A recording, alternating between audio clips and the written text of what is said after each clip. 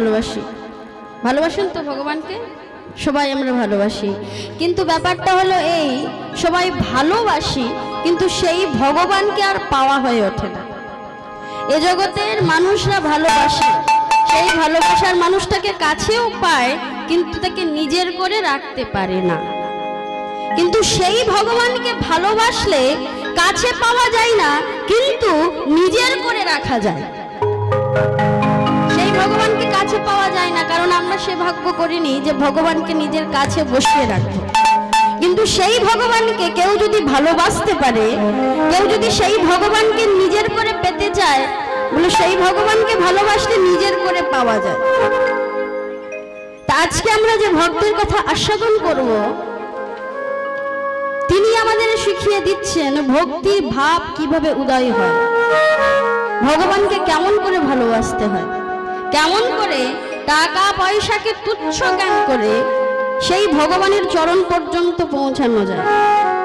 তাই আজকে আমরা যে ভক্তের কথা আস্বাদন করব, তার নাম হলো লালাবাবু জগৎ।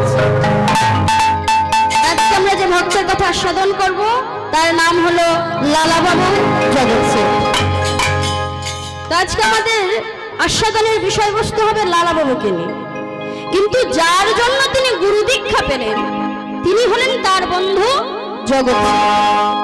তাই আমরা প্রথমে লালাবাবুর একটু জীবনের কথা আস্বাদন করব, শেষে গিয়ে আমরা একটুখানি জগৎ সেটের কথা আস্বাদন করব।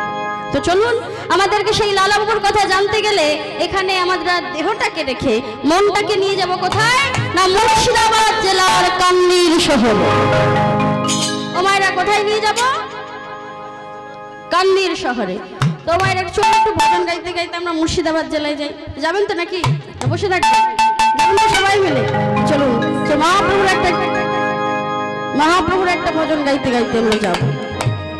সেই মহাপ্রভুকে আমরা কেউ ছেড়ে দিতে চান? ছেড়ে দিতে চান নাকি? ও মায়েরা, কাউকে যদি ভালোবাসেন, নিজের করে রাখতে চান, মনে করুন আপনাদের বাবাকে আপনি ভালোবাসেন। মনে করুন না, সবাই ভালোবাসে। কেউ আবার আজকালের নেই যে ভালোবাসেন তো সেই বাবাকে যদি ভালোবাসেন, তাহলে কি করবেন? জড়িয়ে ধরে রাখবেন তো নাকি? জড়িয়ে ধরে রাখবেন নাকি? জড়িয়ে ধরে রাখবেন তো নাকি? কতক্ষণ লাগবেন? এক ঘণ্টা, দুই ঘণ্টা, তিন ঘণ্টা, চার ঘণ্টা, ধরে নিন পাঁচ ঘন্টায় জড়িয়ে ধরবেন কিন্তু একটা সময় আসবে তো নাকি হাত ব্যথা করবে, এবারে ছেড়ে দিন। কতক্ষণ রাখা যায় বলুন তো? জড়িয়ে ধরে। তাহলে এমন একটা জায়গায় রাখতে হবে যেখানে রেখে দিলে আর চাইলেও তাকে ছাড়া যায় না। কোথায় রাখবেন তাহলে? হ্যাঁ, হৃদয় মাঝে যদি একবার কাউকে বসিয়ে দেন হৃদয় সিংহাসনে যদি একবার কাউকে বসিয়ে দেন তাহলে চাইলেও সে আপনাকে ছেড়ে যেতে পারবে না। তো সেই মহাপ্রভুকে আমরা সবাই মিলে জড়িয়ে ধরে রাখব না হৃদয় মাঝে সবাই মিলে রাখব। তাই এক পাশে দাঁড়িয়ে বললেন শোনো ছেড়ে দিল সোনার বউ।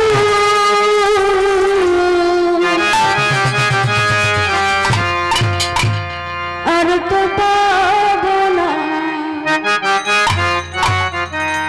না না না ছেড়ে দেবো না। গানটা জানেন তো সবাই? আমার সাথে গাইবেন তো নাকি? না আমি একলাই গাইব। গাইবেন তো? তোমায় রেগ মাঝে রাখব ছেড়ে মাঝে রাখব ছেড়ে দেবো না। ছেড়ে দিলে সোনার গৌর আনতে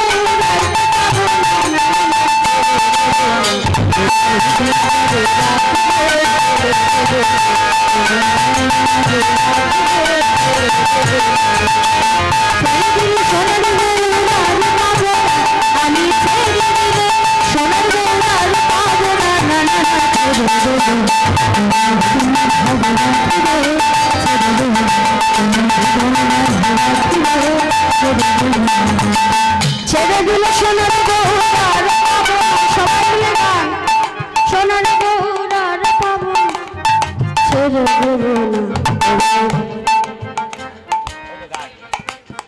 আচ্ছা দাঁড়াও দাঁড়াও দাঁড়াও। ও মায়েরা ভোল্টেজ এত আসতে হলে কিন্তু হবে না। আর একটু আর একটু খালি বাড়াতে হবে। বলতে যত আসতে হলে হয় ধীরে হলে হয়। ও ভাইরা ওই বাড়িতে নুন লঙ্কা ফুরিয়ে গেলে বাবাদেরকে যেভাবে বলে বিনা পয়সার ভলিউম বলে তাই নাকি? ও আপনি জানেন আমাদের পয়সাটা ও ভাই ওই বাড়িতে লঙ্কা ফুরিয়ে গেলে বাবাকে যেভাবে বলেন বাবাকে কি ওই রকম করে বলেন? এই দুটো লঙ্কা নিয়ে এসো। করে বলেন? তাহলে কীরকম করে বলেন? এই যাচ্ছ যাও যেখানে যাবে যাও। আসার সময় যেন লঙ্কা নিয়ে বাড়ি বলেন তো নাকি এভাবে বলেন তো? তখন তো ভোল্টেজ বেরিয়ে যায় এখন কোথায় গেল। সবাই মিলে একসাথে।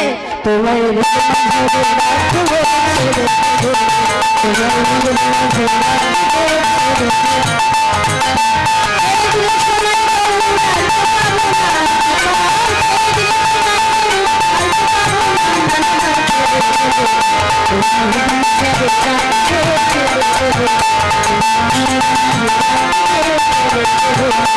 you.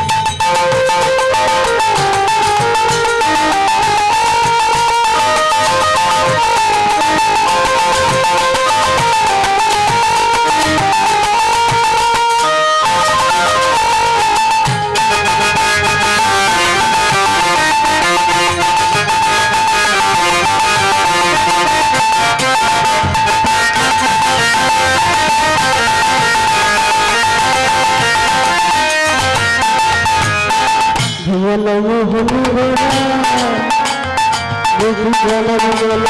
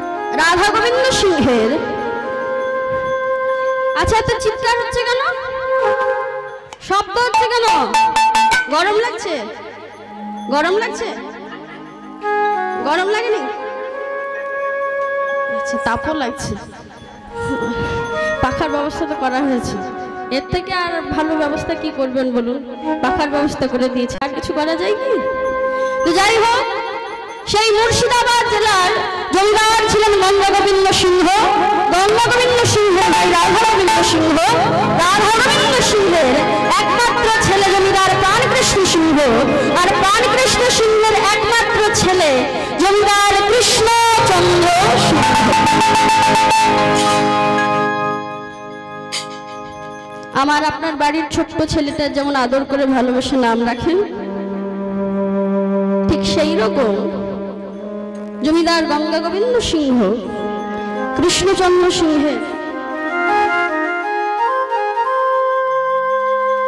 ঠিক সেই রকম জমিদার গঙ্গা গোবিন্দ সিংহ কৃষ্ণচন্দ্র সিংহ নাম রেখেছিলেন, ডাক নাম রেখেছিলেন লালা। আর তার বন্ধু জগৎ সেন।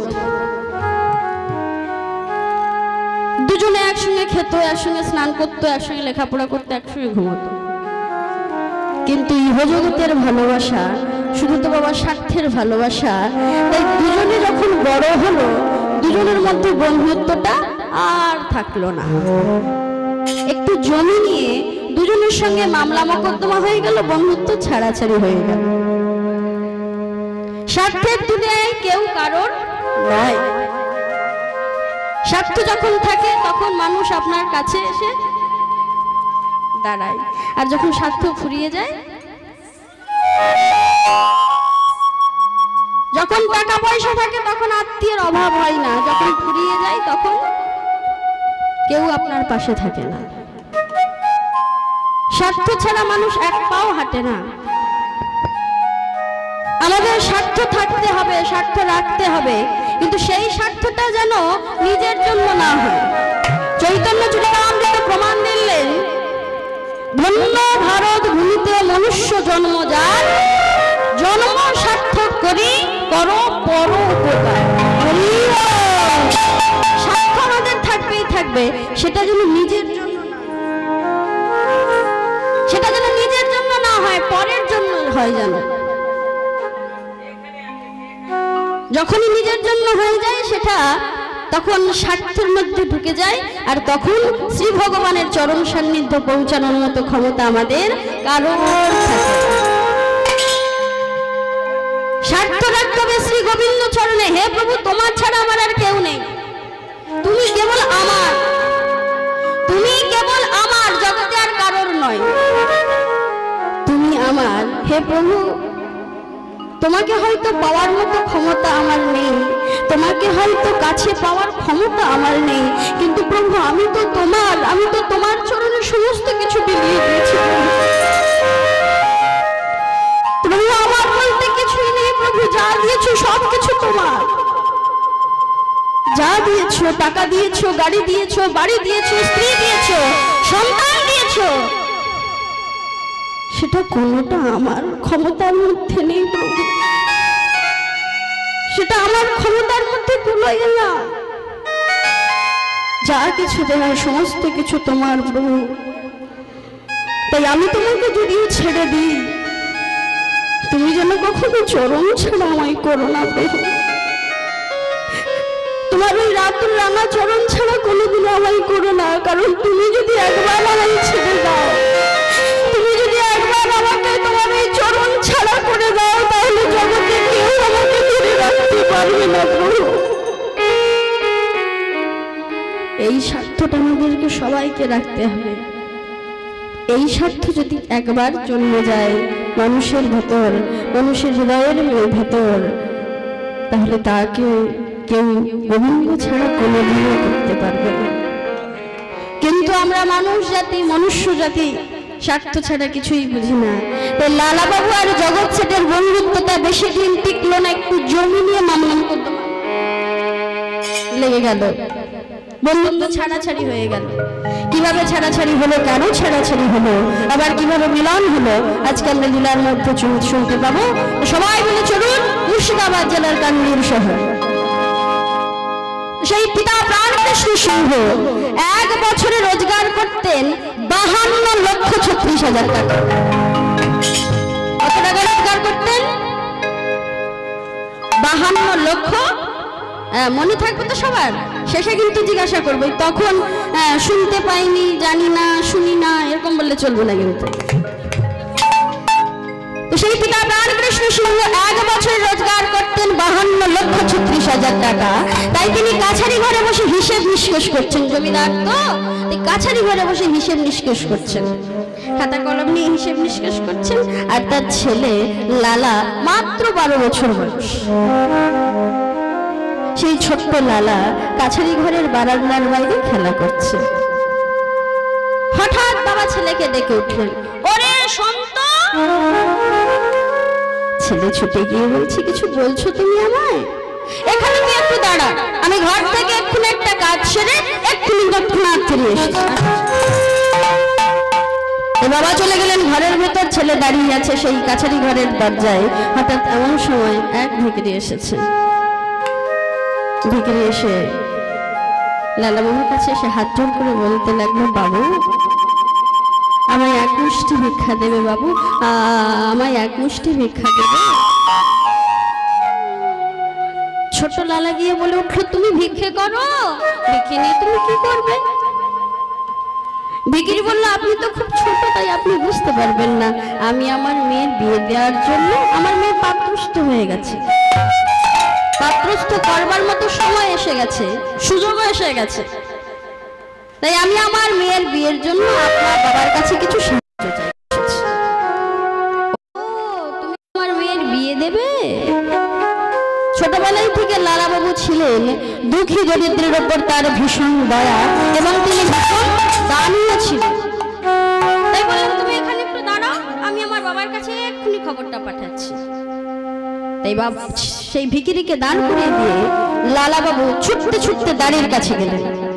দাদিকে গিয়ে বললেন, ও দাদি, তুমি আমার বাবাকে গিয়ে বলো যে একজন ভিকিরি এসেছে। সে তার মেয়ের বিয়ের জন্য ওনার কাছে কিছু সাহায্য চায়। একথা যেই বলেছে, দাদি একথা যেই পিতা প্রাণ কৃষ্ণ সিংহের কাছে বলেছেন, সঙ্গে সঙ্গে পিতা প্রাণ সিংহ রেগে গিয়ে বললেন, যা, ওই ভিকিরিকে ঘর ধরে বার করে ও মায়েরা, এবার একটুখানি চিন্তা করুন। আপনি ঘরের ভেতর রান্না করছেন? আপনার ছোট্ট ছেলেটা বা মেয়েটা এই বাইরে খেলা করছে। একজন ভিকিরি এসেছে। আপনার ছেলেটা বলল, তুমি এখানে একটু দাঁড়াও, আমি আমার মায়ের কাছ থেকে ভিক্ষাটা নিয়ে এসে তোমাকে দিচ্ছি। এবার আপনি যদি সেই রান্না করার অবস্থায় খুন্তিটা হাতে নিয়ে দূর দূর করে এসে সেই ভিকিরিকে দূর দূর করে তাড়িয়ে দেন, তাহলে কার অপমান হবে? আপনার অপমান হবে? আপনার অপমান হবে? যে তাড়িয়ে দিল তার অপমান হবে? তার অপমান হবে? আপনার ছেলে দাঁড়িয়ে রেখেছে বিকিরিকে আপনি ভেতর থেকে এসে দূর দূর করে তাড়িয়ে দিলেন, কার অপমান হবে? যে দাঁড় করিয়ে রেখেছে তার অপমান হবে। কিন্তু মায়েরা, সমবেত ভক্তমন্ডলী ও ভক্তিমতী মায়েরা, যাদের টাকা পয়সা আছে সব কিছু সহ্য করতে পারে, কিন্তু অপমান কোনোদিনও কোটি কোটি টাকা খরচা হয়ে যাক, কোনো অসুবিধা নেই তাতে। কিন্তু মান মর্যাদা যেন একদম অক্ষুণ্ণ থাকে। তো দাঁড়িয়ে এসে বলল, বাবু, আপনার ছেলে লালাবু তো তাকে বসিয়ে রেখেছে। তাই আপনি যদি তাকে ফিরিয়ে দেন, তাহলে কিন্তু ছোট বাবুর খুব অপমান হবে। সিংহ রেগে গিয়ে ভেতর থেকে একটা টাকার যা। টাকাগুলো ওই লা- দিবি আর লালাকে গিয়ে বলবি, যেই দিন সে নিজে টাকা রোজগার করতে পারবে, সেই দিন যেন ভিখিরিকে দান দক্ষিণা দাঁড়িয়ে এসে ভিকিরিকে টাকাগুলো দিল। ভিকিরি চলে গেল। আর লালাবাবুর কাছে গিয়ে দাঁড়িয়ে বলতে লাগল, বাবু, আপনার বাবা আপনাকে আদেশ করেছে, যেদিন আপনি নিজে টাকা রোজগার করতে পারবেন, সেই দিন ভিকিরিকে দান দক্ষিণা করবেন। এবারে যেই বলেছে, লালাবাবু লোকটা কি আমার বাবা আমাকে এত বড় কথা বলেছে। বেশ আজকেই এই ঘর ছেড়ে, এই জমিদারি ছেড়ে আমি চলে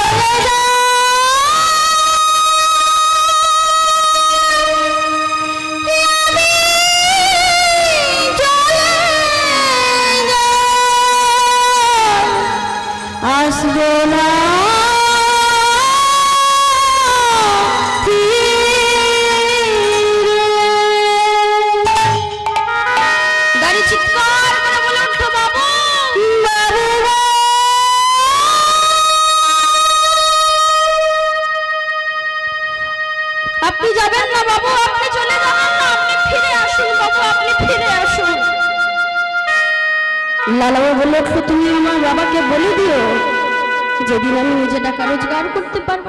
সেই দিন ওই জমিদারিতে আমি ফিরে যাব। সেই দিন ওই বাড়িতে ফিরে যাব। তার আগে ওই বাড়িতে আমি আর ফিরে যাব না। বলতে বলতে লালাবাবু কোথায় চলে গেলেন? এদিকে পিতা প্রাণ কৃষ্ণ সিংহ কাছারি ঘরে এসে শুনতে পেলেন, তার একমাত্র প্রাণের ছেলে আজ ঘর ছেড়ে চলে গেছে। তাই পাগলের মতো চিৎকার করে বলে উঠলেন ওরে লালা রে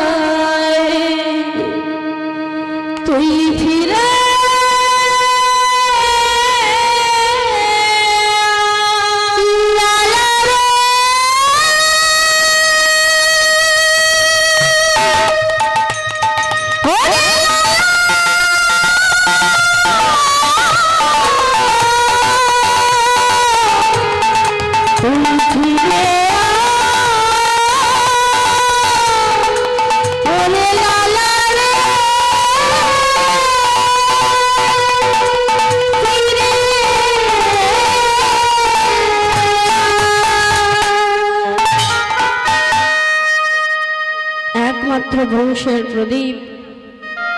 সেই ছেলে যদি ঘর ছেড়ে চলে যায়, বাবার কি অবস্থা হবে? আপনারা যারা সন্তানের পিতামাতা হয়েছেন, নিশ্চয়ই বুঝতে পারছেন। পিতা প্রাণ কৃষ্ণ সিংহ খেতে পারে না, ঘুমোতে পারে না। বিছানায় শুয়ে শুধু লালা লালা বলে কাঁদে। মন্দিরের ভিতর প্রভুর কাছে গিয়ে প্রভুকে প্রভুর চরণটা দুটো বক্ষ মাঝে জড়িয়ে ধরে বলতে থাকে, প্রভু। ছোটবেলায় তুমি আমার বাবাকে কেড়েছো। ছোটবেলায় তুমি আমার মাকে আমার কাছ থেকে কেড়ে নিয়েছো।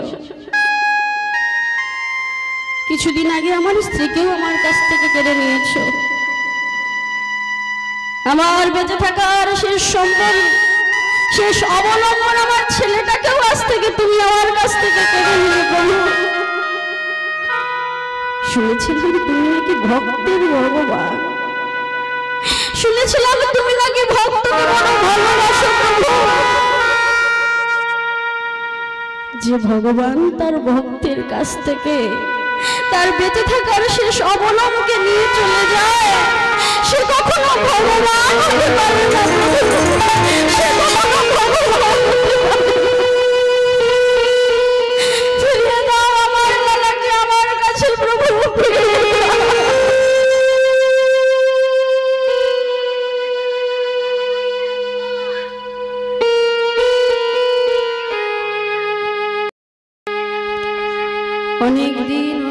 হয়ে লালা বাবুর আর কোনো খোঁজ নেই। সবাই মিলে খুঁজছেন লালা বাবুকে কিন্তু লালা বাবু আর ফিরে এলেন না। দারিগণ খোঁজ করতে করতে করতে করতে খোঁজ পেলেন যে বর্ধমান জেলায় একটি সেরেস্তাদারের কাজ করে। সবাই মিলে বলতে লাগল, বাবু, আপনি বাড়ি ফিরে চলুন, বাবু। আপনি বাড়ি ফিরে চলুন। আপনার পিতার এই অবস্থা আর সহ্য করা যাচ্ছে না, বাবু। আপনি বাড়ি ফিরে চলুন। লালা বলে উঠল শোনো তোমরা আমার বাবাকে গিয়ে বলে দিও, ওই বাড়িতে আর কোনোদিনও যাব না আমি। যে বাড়িতে দুঃখী দরিদ্রকে দয়া করে না, যে বাড়িতে দুঃখী দরিদ্রকে সাহায্য করে না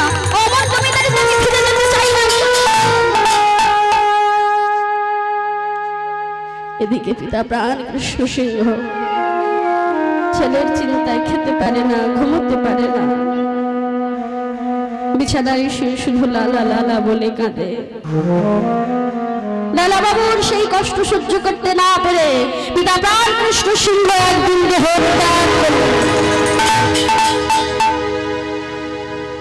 দাড়িগণ সবাই এসে ছুটতে ছুটতে বলতে লাগল, বাবু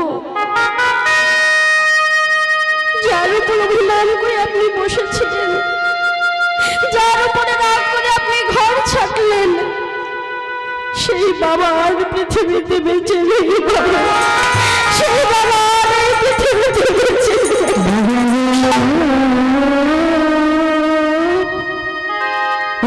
বাবা।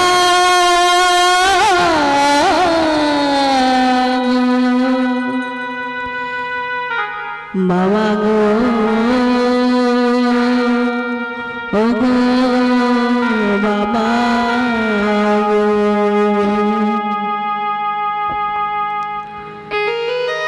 লালাবাবু ছুটতে ছুটতে বর্ধমান থেকে আবার মুর্শিদাবাদে ফিরে এলেন। কিন্তু মায়েরা, যে চলে যায়, সে কি কখনো ফিরে আসে?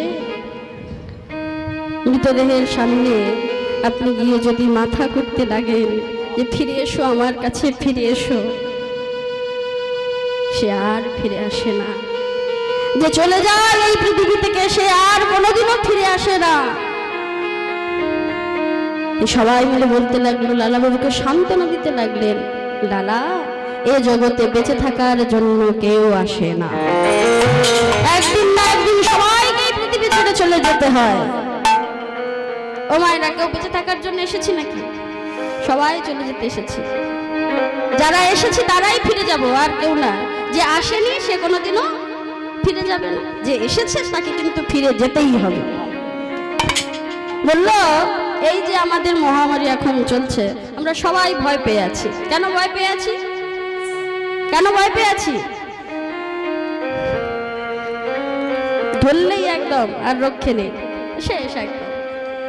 আমাদের সবাই যদি বেঁচে থাকার মন্ত্রটা আমরা একবার জেনে নিতে পারতাম, তাহলে কি কাউকে যেতে হতো? কেউ কি আমরা যেতে চাই এই পৃথিবী থেকে নাকি? কেউ আমরা যেতে চাই এই সুন্দর পৃথিবী থেকে? এই কবি একটা লাইন বলেছে না? মরিতে চাহি না আমি এই সুন্দর ভুবনে। কেউ আমরা চলে যেতে চাই না। বলল, এই দেহটার মধ্যে যে পরমাত্মা রূপী ভগবান রয়েছেন, পরমাত্মা রয়েছেন, তাকে ধরবার মতো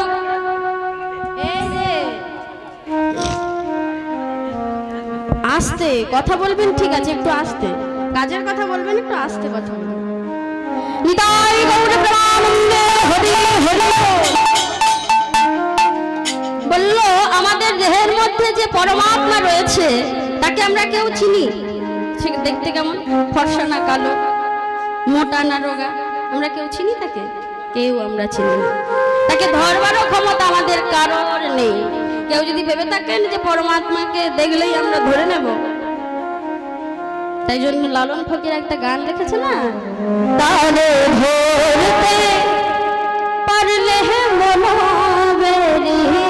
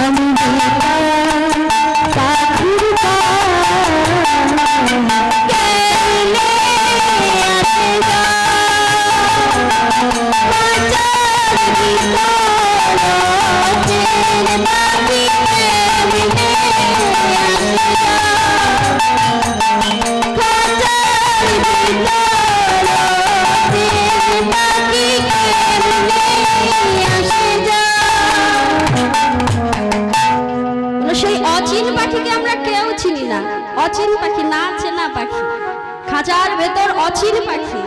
শাস্ত্র বললেন, দেহটা হলো খাঁচা। আর পরমাত্মা রূপী ভগবান হলেন পাখি। দুটো পাখি রয়েছেন একটা জীবাত্মা, একটা পরমাত্মা। জীবাত্মা কাজ করে আর পরমাত্মা পেছন থেকে দাঁড়িয়ে দাঁড়িয়ে দেখে। দেখি বেটা, যা যা করছে সব কিন্তু লেখা হচ্ছে। আমি গিয়ে জবাব দেবো সেখানে। তুই তো করে যাচ্ছিস নিজের মতো কাজ, কিন্তু আমি জবাব দেবো সেখানে গিয়ে। দেহটা হলো খাঁচা, আর পরমাত্মা রূপী ভগবান হলেন পাখি। সেই পাখিকে ধরবার মতো আমাদের কারোর ক্ষমতা নেই। তো মনকে বললেন, শোন মন, আমরা পাখি বাড়িতে লালন করি, পালন করি। তো সেই পাখিকে যখন বাড়িতে নিয়ে আসি, কিসের মধ্যে রাখি? খাঁচার মধ্যে। সেই খাঁচাটা কিসের তৈরি হয়?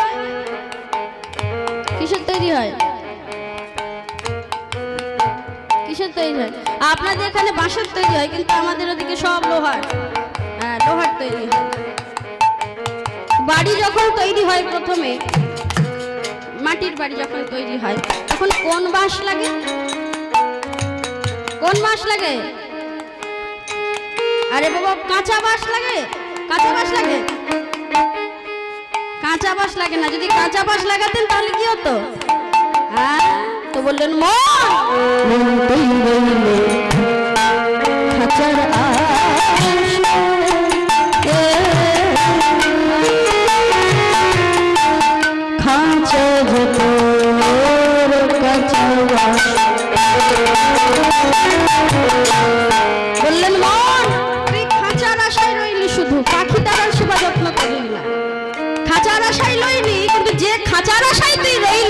मन गई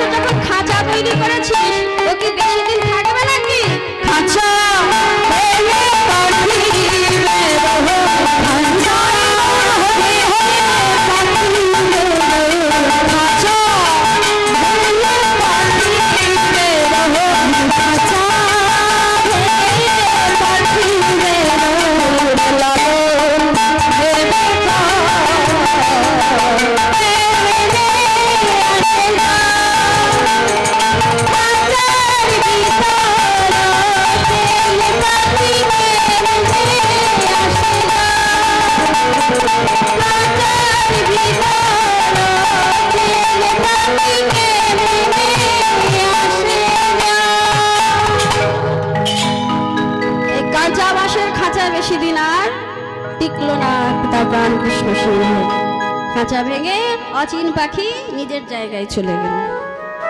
সবাই যখন লালাবাবুকে এভাবে বোঝালেন, লালাবাবু বললেন, ঠিক আছে, সবাইকেই তো চলে যেতে হয়। আমার দাদু চলে গেছে, ঠাকুমা চলে গেছে, মা চলে গেছে। আজকে না হয় বাবাকেও নিয়ে হারিয়ে ফেললাম। এভাবে যখন বুঝ- বোঝালেন, লালাবাবু বুঝলেন। সঙ্গে সঙ্গে গিয়ে পিতার মুখাগ্নি করলেন। দেখতে দেখতে অনেকগুলো দিন পেরিয়ে গেল। পিতা প্রাণ বিষ্ণু সিংহ দেহত্যাগ করেছে। এবার সমস্ত জমিদারির ভার কার উপর পড়বে? লালাবাবুর উপর। কারণ কর্তা চলে গেলে তারপরে ছেলের উপরে পড়ে সমস্ত ভার। তো লালাবাবু এক বছরে কত যেন রোজগার করতেন? হ্যাঁ মায়েরা ভুলে গেলেন নাকি বাবা বলে দিল? ভুলে গেছিলেন? বলতে বলতে বাবা বলে দিল। এক বছর রোজগার করতেন বাহান্ন লক্ষ ছত্রিশ হাজার টাকা। তাই তিনি কাছারি ঘরে বসে হিসেব নিষ্কাশ করছেন।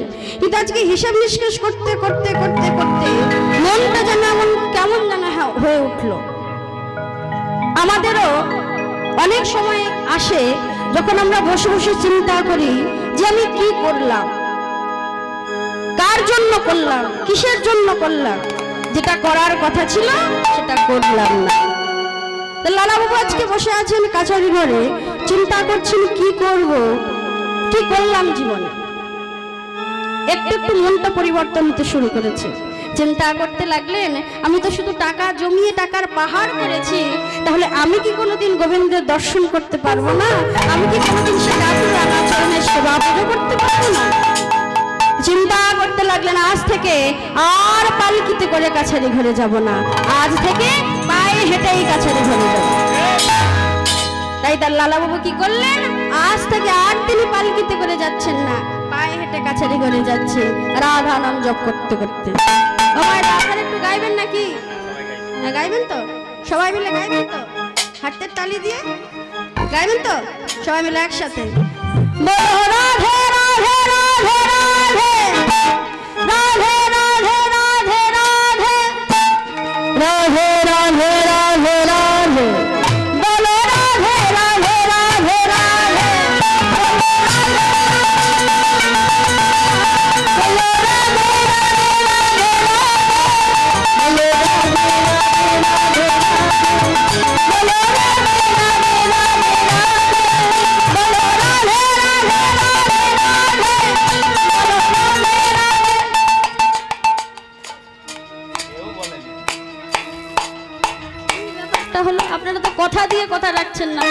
করলে কিন্তু আর খেলব না বললাম, চলে যাব। সবাই মিলে একসাথে বলো, রাধে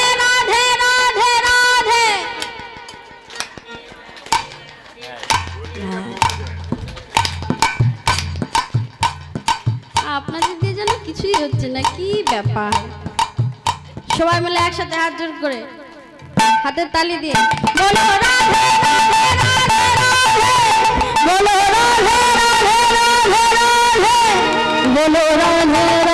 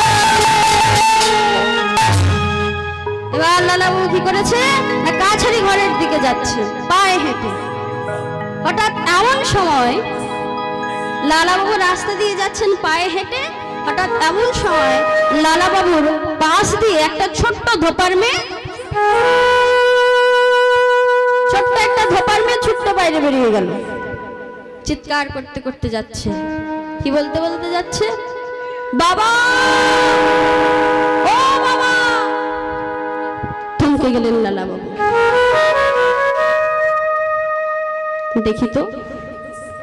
ওই বাচ্চা মেয়েটা ওর বাবাকে কি বলে? ছোট্ট ধোপার মেয়ে তার বাবার কাছে গিয়ে বাবার গলাটা জড়িয়ে ধরে বলতে লাগল, বাবা, ও বাবা, বেলা যে চলে যায়, তোমার বাসায় আগুন দেবে না বাবা? সমবেত ভক্তমন্ডলী ও ভক্তিমতী মায়েরা ধোপার মেয়ে তার বাবার কাছে গিয়ে বলতে লাগল, বাবা, বেলা যে চলে যায়, তোমার বাসনায় আগুন দেবে ও মায়েরা, আগেকার দিনে যারা যারা মায়েরা রয়েছেন, বাসনা মানে কি বলুন তো? এখনকার দিনের বৌদিরা জানতে পারবেন না, আগেকার দিনের মায়েরা জানবে। বাসনা মানে কি গো? হ্যাঁ? আচ্ছা কেউ জানে না। আরে মায়েরা প্রসাদ সেবা করবেন আস্তে আস্তে উঠে যাবেন। ঠেলা গুজো করে কেউ নিয়ে যাবেন না। যে পাশের জন যেতে চাইবে না "এই চল, এই চল", এরকম করে নিয়ে যাবেন না। যার যার ইচ্ছা হবে প্রসাদ পেয়ে তারপর চুপচাপ এখানে বসে যাবেন। তো বাসনা মানে কি? বয়াকার দন্তস্ব হসন্ত দন্তন্ময় আকার বাসনা। বাসনা অর্থাৎ কলা গাছ দেখেছেন তো? ওই যে দেখুন। দেখুন ওইদিকে। ওই মাটির থেকে যে অংশটা উপরে উঠে থাকে, মোটা অংশটা, ওই মোটা অংশটা আগেকার দিনে, এই যে গ্রীষ্মকালের রোদ দেখেছেন না? এই বৈশাখ মাসের যে রোদ, এই রোদে পুড়িয়ে সেই শুকনো কলা গাছের পেটিটাকে আগুনে পুড়িয়ে সেই ছাই দিয়ে জামা কাপড় কাচা হতো। বুঝতে পারলেন তো? বুঝতে পেরেছেন তো নাকি? না না বলব। আরেকবার বলার দরকার নেই তো? বেশ। তাহলে কলা গাছের পেটিটাকে রোদ্রে শুকনো করে আগুনে পুড়িয়ে সেই ছাই দিয়ে জামা কাপড় কাচা হতো। তাই ওই কলা গাছের মোটা অংশটাকে শুদ্ধ বাংলা ভাষায় বলে ছোট্ট ধোপার মেয়ে, ধোপার বাড়িতেই জামা কাপড় কাচা হয়, তাই তো? না কুমোর বাড়িতে কাচা হয়? ধোপার বাড়িতেই কাঁচা হয়। এই স্বভাববশত ছোট্ট ধোপার মেয়েটা তার বাবার কাছে গিয়ে বাবাকে বলতে লাগল, বাবা, বেলা যে চলে যায়, তোমার বাসনায় আগুন দেবে না বাবা। কিন্তু লালা বাবু দাঁড়িয়ে দাঁড়িয়ে শুনছেন। লালা বাবু কি শুনতে পেলেন?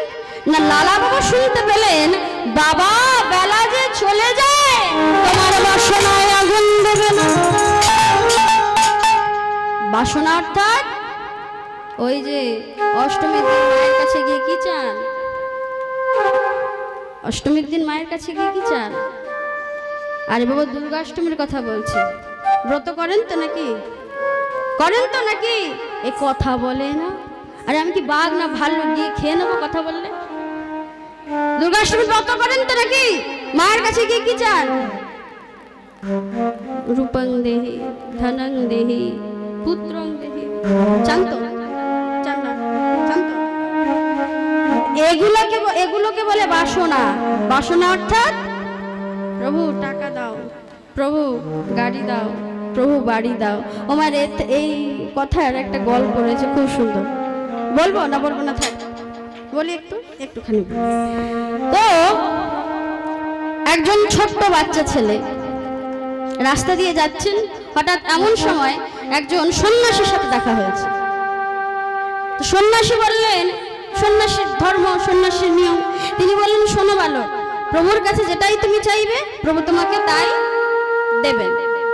ছোট্ট বালক তো ছোট বাচ্চাদের যা শেখানো হয় তারা সেটাই বিশ্বাস করে। তো বলল, বেশ, ঠিক আছে তাহলে। এই বলে চিন্তা করতে লাগলেন ছেলেটার দেখতে দেখতে দেখতে দেখতে বড় হয়ে গেছে মাধ্যমিক পরীক্ষার সামনে। মাধ্যমিক পরীক্ষা যেই না এসেছে, সঙ্গে সঙ্গে গিয়ে ঠাকুর ঘরে হরতে পড়ে যাচ্ছে। এইবারের মাধ্যমিক পরীক্ষাটাই পাশ করে দাও, আর কিছু তোমার কাছে চাই। বাচ্চা ছেলেটার ভক্তি দেখে প্রভু বললেন, বেশ, ঠিক আছে।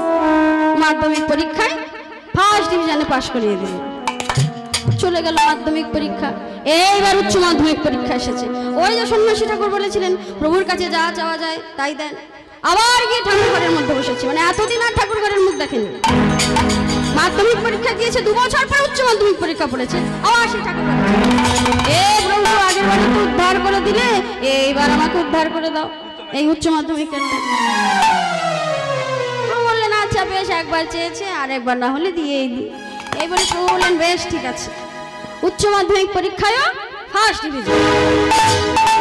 ভালো কথা। এই বলে পরীক্ষা শেষ। বিএ পাশ করেছে এম এ পাশ করেছে। এইবার চাকরি আর পাচ্ছে না।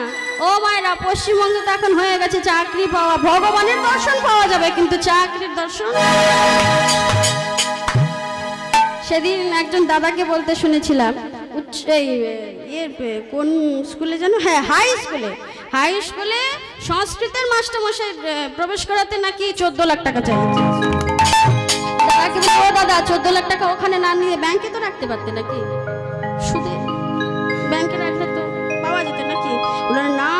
তুমি জানো না ওই যে রাস্তা দিয়ে যখন যাবে তখন কি বলবে? কে যাচ্ছে?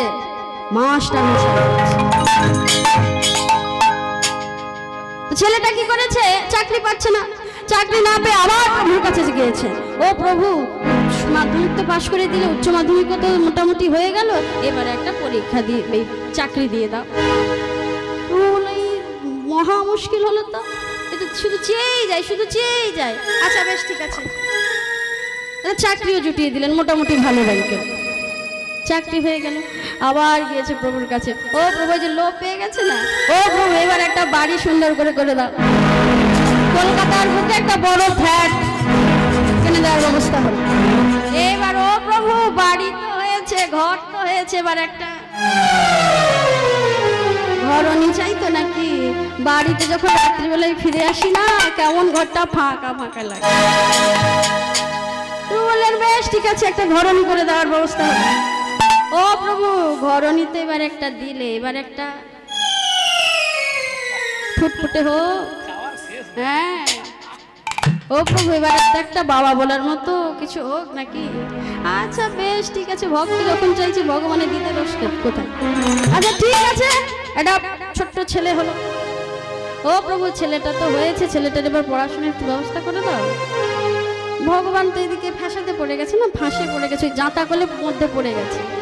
কে যে পড়েছে সেটা ভক্ত বুঝতে পারছে না। নিজে পড়েছে না, ভগবান পড়েছে এই বলে বাচ্চাটার পড়াশোনা হলো দেখতে দেখতে চাকরি হয়ে গেল। চাকরি করে বিদেশে গেল। বিদেশ থেকে একটা সুন্দর লাল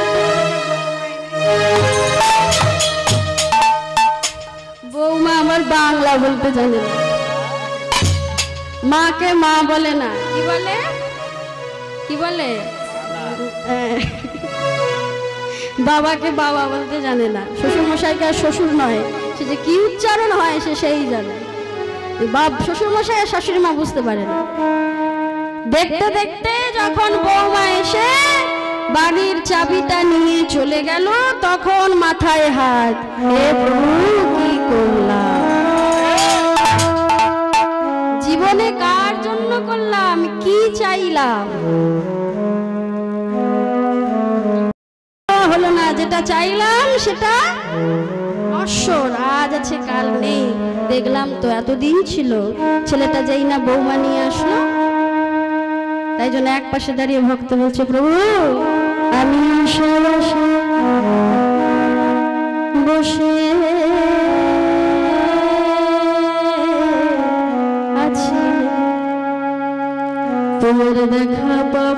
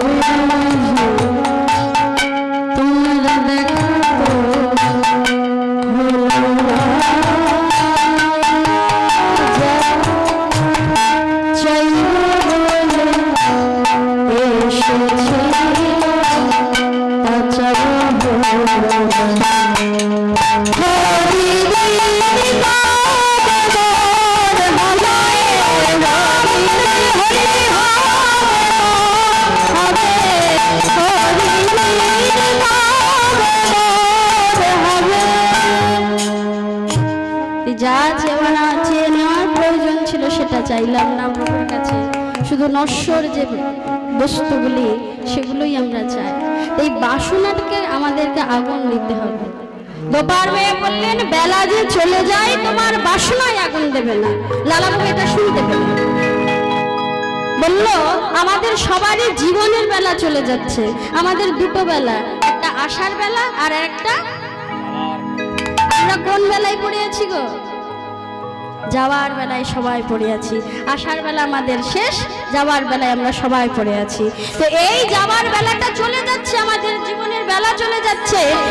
এই বেলাতে আগুন দিতে হবে। কোন আগুন? আগুন দিয়ে বাসনাগুলোকে পুড়িয়ে দিতে হবে। তো লালাবাবু যেই না শুনলেন এই কথাটা, মুহূর্তের মধ্যে চিন্তা করতে লাগলেন, আজকে আমি আর ওই কাছারি ঘরে যাব না। যদি যেতে হয়, আমি সিংহাম বৃন্দাবনে তাই আর ঘরেও গেলেন না, আর বাড়িও ফিরে এলেন না। তিনি মুহূর্তের মধ্যে বৃন্দাবনের উদ্দেশ্যে রইলেন। মায়েরা, আপনারা যাবেন না, বসে থাকবেন এখানে। বৃন্দাবন যাবেন নাকি? যাবেন তো? যাবেন তো? যাবেন তো? যাবেন মা কথা যাবেন তো নাকি? বৃন্দাবন যাবেন তো? মা কথা বলে না, কি ব্যাপার? যাই হোক। হ্যাঁ। ও মায়েরা, যাবেন তো সবাই মিলে? বৃন্দাবনে যেতে গেলে কি বলতে বলতে যেতে হয়? হ্যাঁ বলবেন তো সবাই। সবাই মিলে একসাথে চলুন। রাম নাম গাইতে গাইতে বৃন্দাবন যাব। নিতাই গৌর প্রেমানন্দে হরি হরি বল। ও মনে যত্ন লাগাই রাধা রানীকে মনে যত্ন লাগাই मैंने जपना लगाई राधा मैंने जपना लगाई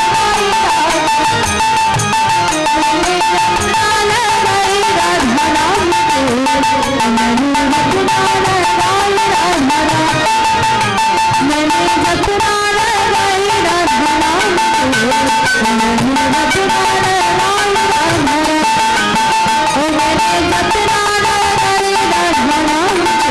Thank you.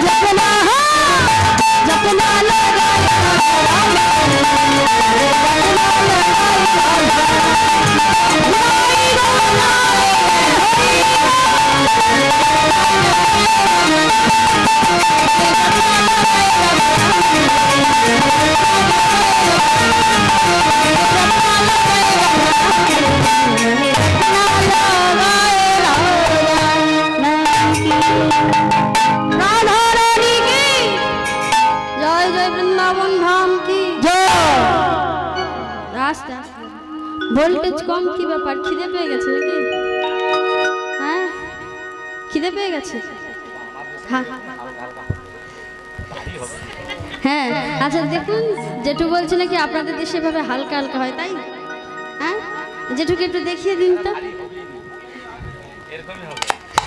হবে। না হবে না। ও মায়ের একবার একটু দেখিয়ে দিন তো। এনাদের ভুল ভাঙিয়ে দিন। এরকম করলে হয় দেখুন বাবারা আপনাদেরকে চ্যালেঞ্জ করছে। আচ্ছা ও মায়েরা একটা পরীক্ষা এখন হবে। আপনাদের ভোল্টেজ বেশি না বাবাদের ভোল্টেজ বেশি? এই বাবারা কোথায়? দেখতেই পাচ্ছি না। ওই কিছু আছে আর আমাদের যা বাবা আছে। হ্যাঁ। আর না হলে বাবারা তো নেই সেভাবে। ও মায়েরা আপনাদের ভোল্টেজ বেশি না বাবাদের ভোল্টেজ বেশি পরীক্ষা না না না, এতদিন বাবারা যে ঘর করেছে, বাবারা কি করেছে? বাবা, জানো, তোমার জেঠিমার চিন্তায় বাড়িতে ঘুমোতেই একটা পরীক্ষা তাহলে। বাবাদের ভোল্টেজ বেশি না, আপনাদের ভোল্টেজ বেশি। তা আগে কাকে সুযোগ দেওয়া যায় বলো তো? বাবাদেরকে না আপনাদেরকে? মায়েদের ভাগ বেশি আছে তা মায়ের আগে হোক, যাদের লোক বেশি, তাদের লোক বল বেশি হয় তাদের তো তাই তো? তো মায়েরা রেডি তো? যখন আমি বলব, বলো রাধা রানীকে একবার আপনারা জয়ধ্বনি দেবেন, আর একবার বাবারা জয়ধ্বনি দেবেন। প্রথমে মায়েরা, তারপরে বাবারা। বাবারা কিন্তু মাঝখানে আর কেউ আর জয়ধ্বনি দেবেন না। হ্যাঁ? তো ভোল্টেজের পরীক্ষা হবে। কার ভোল্টেজ বেশি আর কার ভোল্টেজ কম? তা আপনার রেডি তো নাকি? রেডি তো? আচ্ছা জেঠু, আপনি একটু ওই মিটার রেখাটা দেখে রাখুন, কার ভোল্টেজ বেশি, আপনাকে দায়িত্ব দেওয়া হলো। এবার মায়েরা রেডি তো নাকি? বলো হলো না তো? ওই পেছনের মায়েরা আপনাদের সাথে দেখুন, চালাকি করেছে, পেছনের মায়েরা একদম বলেন। আর এদিকের মায়েরাও বলেনি। এদের, এদিকের মায়েরা শুধু ঠান্ডায় বসতে এসেছে। ও মায়েরা আরেকবার সুযোগ শেষ সুযোগ কিন্তু। ও এবার কিন্তু দেখাতেই হবে ভোল্টেজ কত বেশি। বলো রাধারানী কি? হ্যাঁ এই তো হয়েছে এটাই। কুড়ি তো? আরে তোমাদের কত হয় দেখা যাক। মায়েদের তো কুড়ি হলো এত ভোল্টেজ থেকে নাকি বলছে কম কুড়ি। আচ্ছা বাবারা এবারে রেডি তো নাকি? হ্যাঁ রেডি তো? বাবারা রেডি তো নাকি? এবার সবাই মিলে। বলো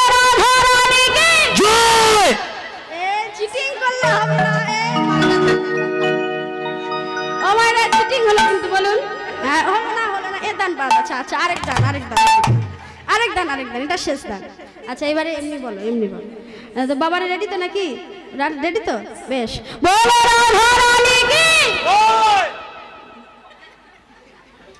বুঝতে পারলেন তো মা বলল নাকি মায়েদের ভোল্টেজ কম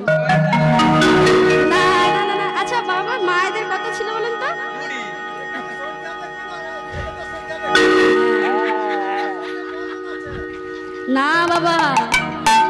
দেখুন, ওস্তাদের মার সবসময় শেষ রাতে হয়।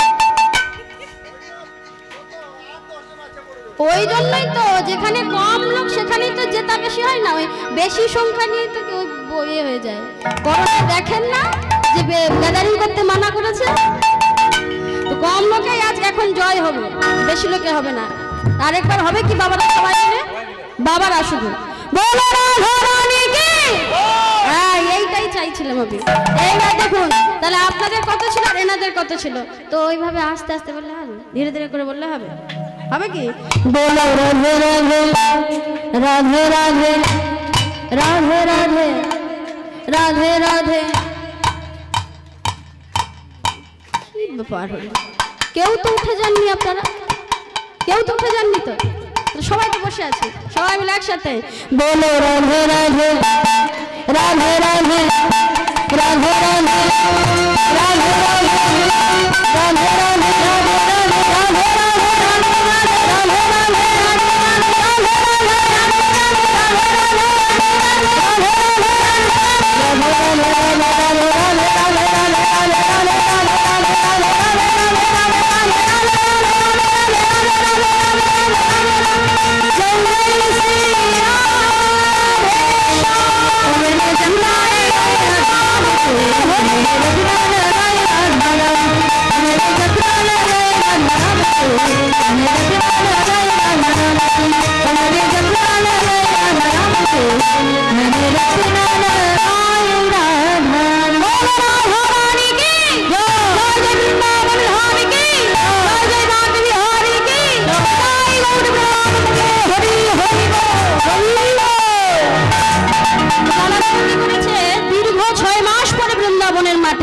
পা দিল কত মাস পর? কত মাস পর? ছয় মাস পায়ে হেঁটে বৃন্দাবন গেছে। তো বৃন্দাবনে এসে একটা গাছের তলায় বসে আছেন আর চিন্তা করছেন, কি করব, কোথায় যাব? এইভাবে চিন্তা করছেন হঠাৎ এমন সময় কতগুলো ব্রজমায়েরা হাতের সোনার থালাই করে মিষ্টি মিষ্টান্ন নিয়ে লম্বা লাইন নিয়ে যাচ্ছে। আর সবাই মিলে সেই রাধারানী জয়গুলো দিতে দিতে যাচ্ছে ও মায়ের পর হবে হাতে তালি দিয়ে? রাধে রাধে রাধে রাধে রাধে রাধে রাধে রাধে রাধে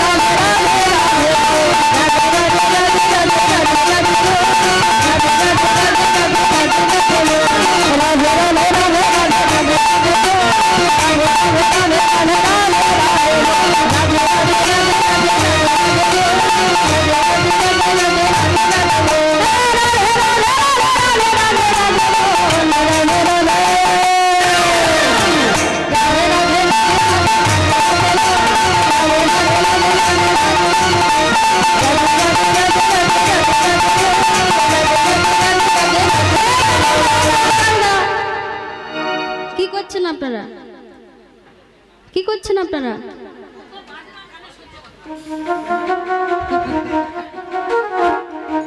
কি করছেন আপনারা? যেই না লালাবাবু সেই ব্রজমাইদের সামনে গিয়ে বললেন, আপনারা কি করছেন? ব্রজমাইরা বলল, আমরা আমরা সেই রাধারানীর ভজন গাইছি জব করছি তা। বলল, আপনারা কোথায় যাচ্ছেন? সবাই মিলে মিষ্টি মিষ্টান্ন নিয়ে বলল, আমরা যাচ্ছি বাকে বিহারী দর্শন করতে।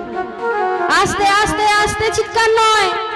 সমবেত ভক্তমণ্ডলী ও ভক্তিমতী মায়েরা বৃন্দাবন গেলে শাস্ত্র বললেন, বৃন্দাবন গিয়ে যদি না বাঁকে বিহারী দর্শন করেন তাহলে আপনার বৃন্দাবন দর্শন অপূর্ণ থেকে যায়। তো বলল, আমরা যাচ্ছি সেই বাঁকে বিহারীর দর্শন করতে। লালাও বলতে লাগলেন, আমাকে একটু নিয়ে যাবেন? আমি তো বৃন্দাবন কোনোদিন আসিনি, তাই বৃন্দাবনের রাস্তাঘাট কিছুই বুঝে না ছাই। একটু আমাকে দয়া করে নিয়ে যাবেন? বেশ যদি যেতে হয় আমাদের পেছনে পেছনে চলো এই বলে লালা বাবু কি করেছে ব্রজমাইদের পেছনে পেছনে সে রাধা নাম জপ করতে করতে যাচ্ছে রাধে রাধে রাধে রাধে রাধে রাধে রাধে রাধে রাধে রাধে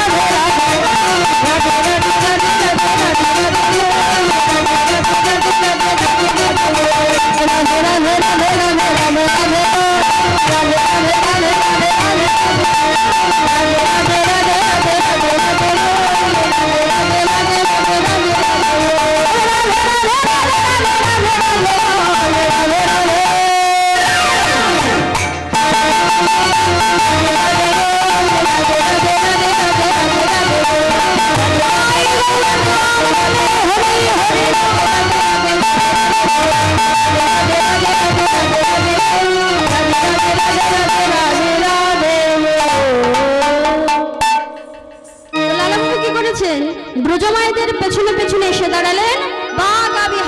বিহারীর মন্দিরে বলে বাঘ বিহারী ভগবান কি?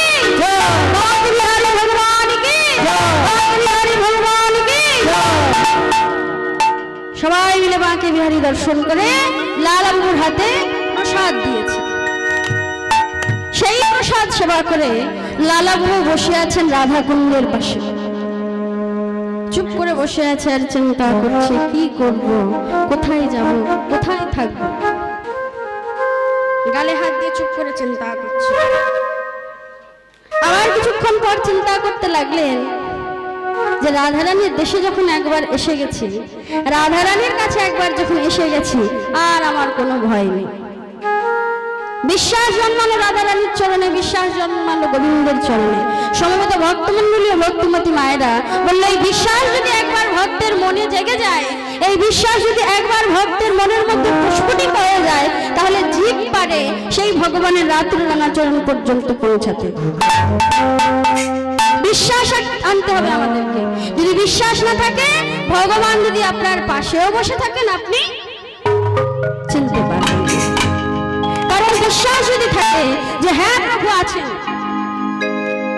মহাজনগণ প্রভুর যে বর্ণনা দিয়েছেন সেই বর্ণনার মধ্যে যদি আপনার বিশ্বাস থাকে যে প্রভু হলেন এইরকম তার গুণ থাকে এই এই গুণ তার মধ্যে বর্তমান তাহলে আপনি আপনার কাছে যদি ভগবান থাকে আপনি নিশ্চয়ই বুঝতে পারবেন। বিশ্বাস ছিল অনেক মানুষের। ও মায়েরা আমরা এতদিন জানতাম প্রহ্লাদের বাবার নাম কি? প্রহ্লাদের বাবার নাম কি? হ্যাঁ, ঠাকুমা রেগে যাচ্ছে। বলে দু, তিনবার বলতে চাই, আসলে কি জানেন তো, আমি কানে একটু কালা, কম। হ্যাঁ কানে একটু কালা দুবার বলতে হয় আর কি। জোরে না বললে আমি শুনতে পাই না। তো সেই হিরণ্য হিরণ্যকশিপুর আমরা সবাই জানি হিরণ্য হিরণ্যকশিপুর ছিলেন বিষ্ণু জানতে পারে পেরেছিলেন যে তার ছেলে, নাম কি? প্রহ্লাদ।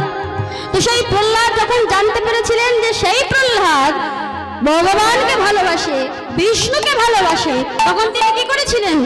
রেগে গিয়েছিলেন। কারণ বিষ্ণু ছিলেন তার ভ্রাতার কে? ভ্রাতাকে মেরেছিলেন কে? ভগবান শ্রী বিষ্ণু। রাগ ছিল সেই ভগবানের প্রতি। আমরা সবাই জানি এটা।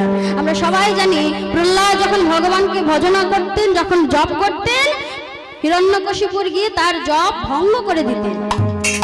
পাহাড়ের উপর থেকে ফেলে দিয়েছিলেন যেটা কেউ করতে পারে না, সেটা হিরণ্যকশিপুর করেছিলেন নিজের ছেলেকে বিষ খাইয়েছিলেন নিজের স্ত্রীর হাত দিয়ে।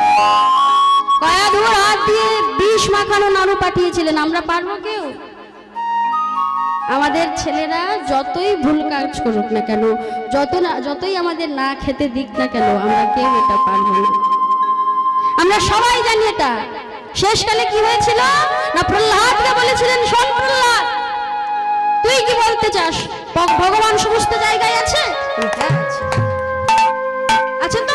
হ্যাঁ আছে। বলতে পারবি? এই স্ফটিক স্তম্ভের মধ্যে আছে কিনা হ্যাঁ আছে। প্রহ্লাদের বিশ্বাস ছিল যে হ্যাঁ ওই স্ফটিক তম- স্তম্ভের মধ্যে ভগবান আছে। আচ্ছা মায়েরা, এবার বলুন, চিন্তা করুন। এখনের কথা বলছি।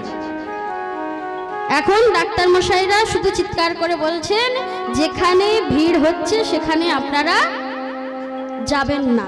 কারণ সেখানে করোনা রূপী ব্যাকটেরিয়া যেটা আছে, সেটা আছে। এটা আমরা সবাই বিশ্বাস করেছি যে করোনা আছে, তাহলে যেই জায়গায় ভিড় আছে, সেই জায়গায় আমাদের যাওয়া চলবে না। এটা বিশ্বাস করেছি বলে আমরা যাইনি সেই জায়গায়। তাই তো? তাহলে